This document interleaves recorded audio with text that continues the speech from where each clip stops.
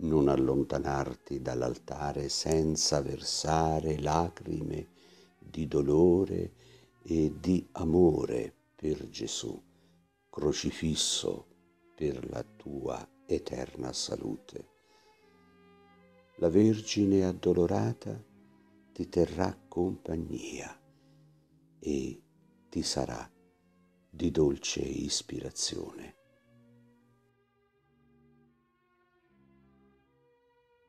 Fratelli e sorelle, oggi è una data importante, è il 13 maggio, l'anniversario della prima apparizione della Madonna a Fatima. Noi sappiamo la devozione che Padre Pio aveva verso la Madonna di Fatima. Non dimentichiamo due date importanti. Nel 1917 la Madonna appare a Fatima e nel 1900, il 20 settembre del 1918 Padre Pio riceve le stimate. Quest'anno noi stiamo celebrando il centenario delle stimate di Padre Pio. E cosa succede? Che Padre Pio incarna tutto il messaggio di Fatima. A Fatima la Madonna ha chiesto ai pastorelli Francesco, Giacinta e Lucia preghiera, penitenza e offrirsi vittime per la conversione dei poveri peccatori. Padre Pio fa questo sin da bambino. Si offre vittima per la conversione dei poveri peccatori.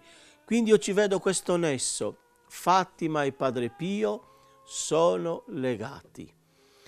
Padre Pio vive in pienezza il messaggio di Fatima.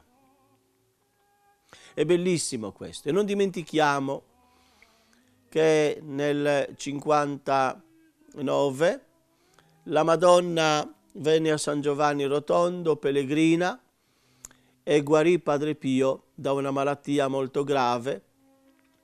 Quando la Madonna stava per ripartire, Padre Pio che non poté scendere in chiesa in quei giorni e preparò tutto con una novena trasmessa dal microfono che aveva dalla sua cella, collegato alla chiesa del convento, esortava tutti i giorni con un pensiero spirituale sulla Madonna.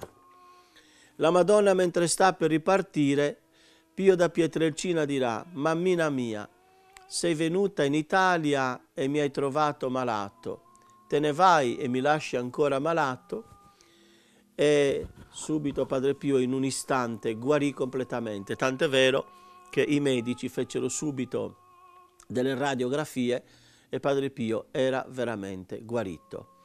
La Madonna non abbandona nessuno.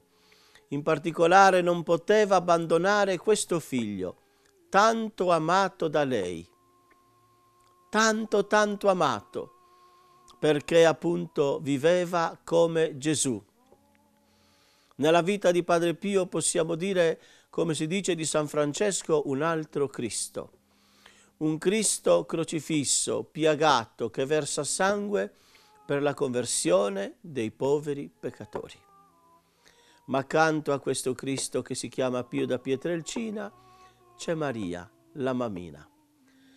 13 maggio 1981, Papa Giovanni Paolo II lo stesso, innamorato della Madonna, il suo moto Totus Tus, in piazza San Pietro, viene sparato e miracolosamente ne esce fuori, lui stesso a testa, una mano materna ha deviato quel proiettile.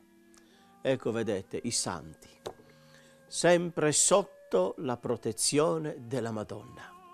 Amiamola. Non lasciamola mai, fratelli e sorelle. Pace e bene a tutti.